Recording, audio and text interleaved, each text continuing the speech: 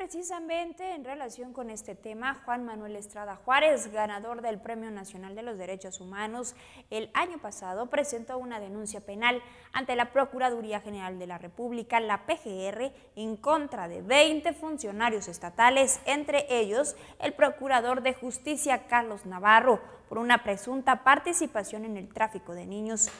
El eh, denunciante asegura que hay indicios de que al menos en un caso los niños fueron vendidos hasta por 20 mil dólares y que algunos fueron sustraídos de casas hogar.